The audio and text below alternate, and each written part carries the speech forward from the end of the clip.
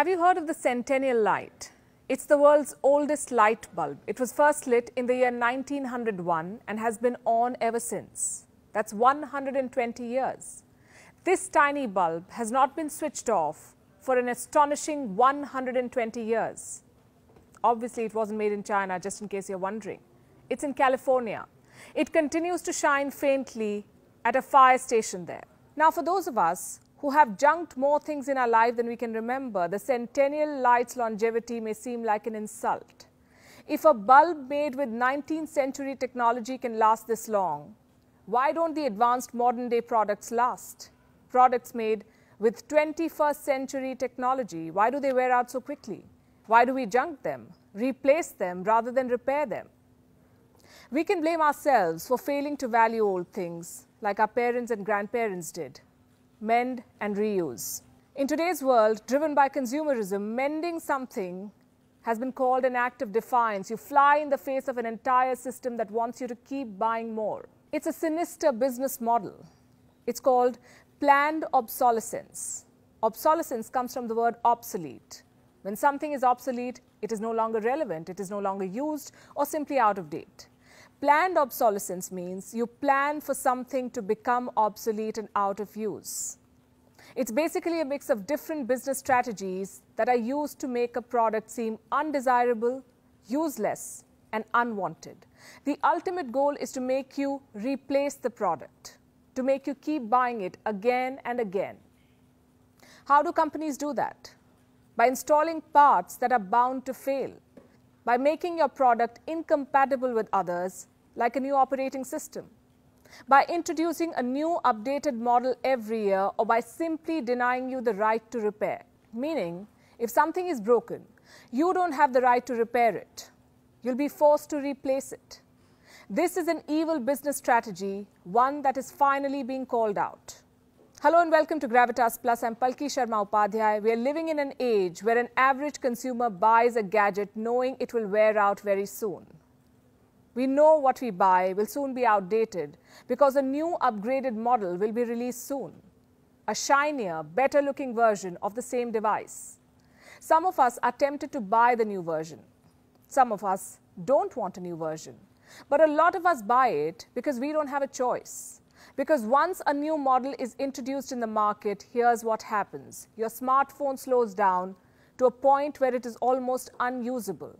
Your gaming console requires one too many resets. Your laptop screen starts flickering. Why can't you repair them? It's inconvenient, it's difficult, and often impossible. A lot of devices cannot be fixed at your local repair store. That's because companies own the right to their own design and software. They dictate who can fix your device and who cannot. And they make repairing a very expensive affair. Even for basic repairs like replacing a shattered screen or a depleted battery, you're charged hefty sums and left at the mercy of the manufacturer. So, what do you do? Most of us end up buying a new product. Studies have proven this. When products begin to fail, most people are inclined to buy new things rather than fix the old ones. It doesn't have to be this way. Do you know there's a global campaign called Right to Repair? People, consumers like us, have been pushing companies and governments to give them the right to repair. They finally have a win. Apple has given in. Apple has announced a self repair program, which basically means that customers can fix their own device. I'm talking about the tech loving do it yourselfers. You can now head to an Apple store, online or offline, to buy parts, tools, and manuals to do your own repairs. This program will focus on the most common things that need fixing your camera, screen, and battery.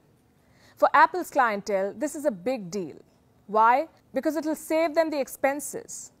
But you won't have to rely on those costly Apple stores or those shady third party repair shops. You would be able to do it yourself. What if you don't own an Apple product? Well, then you'll have to wait or push the right to repair. It's a very interesting piece of legislation that activists and tech companies have fought over for decades. If we were to define it, the right to repair is a concept that allows consumers the right to repair or service their own device without any legal or technical restrictions. The idea behind it is to make electronics easier and cheaper to fix, not to mention increase their life cycle. This right could apply to every product cars, laptops, cell phones, every electronic device you own. With this right, you can ask manufacturers to provide you with products that can be self repaired, parts that are used to repair those products, and manuals and guides to help. How did this concept come into being? It first emerged in the United States in the American auto industry in the year 2012. After many failed attempts, activists in the US auto industry got the Right to Repair Act passed. This first happened in the state of Massachusetts and then several American states followed suit. Then in 2013, a digital right to repair coalition emerged.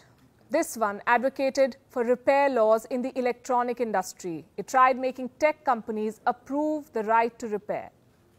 The big flashpoint came in the year 2017. iPhone users came across evidence that Apple was purposely slowing down the speed of older models. Why was Apple slowing down old phones? to force you to buy newer ones. So consumers pushed for legal action. Apple responded by reducing the service charge for repairs. Two years on, it has finally given in. Apple has agreed to the right to repair. It's a big win for consumers, one that opens a lot of doors. If Apple, one of the world's most valuable public companies, can bend before the will of consumers, why can't the others? The debate is picking pace. Several tech giants are complying, like Microsoft. It has also embraced the right to repair. Starting next year, it will offer consumers the right to fix their own device. Efforts are also being made in the European market. They started way back in 2017. The European Union Parliament approved a few recommendations for member states to pass. In July 2021, the British government accepted the recommendations. It passed the right to repair law.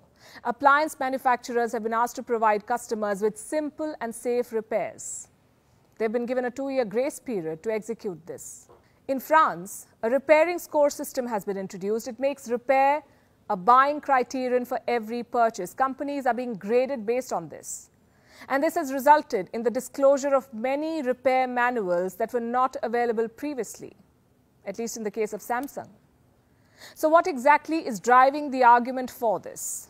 a lot of things. You keep big companies in check, you make them accountable for their products, you reduce the cost of repair for consumers, you shift from a lifestyle that celebrates disposing things. Also, this is unsustainable. It's hurting the world we live in. Manufacturing an electronic device is a polluting process. According to one report, the mining and manufacturing materials used to make an iPhone represent 83% of Apple's carbon footprint. The more such products, the more the pollution.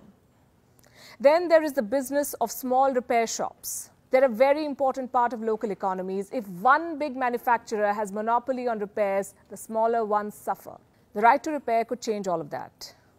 But the most interesting factor driving this campaign is perhaps the art of repair, the desire to mend a cherished item yourself, be it a broken toaster, a TV set from the 90s or a radio of generations past. A lot of us like repairing things ourselves.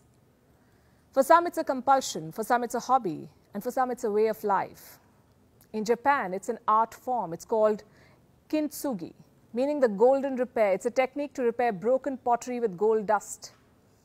Then you have darning. Some of us learned it while growing up. It was to make us understand the beauty of preserving what's broken or frayed.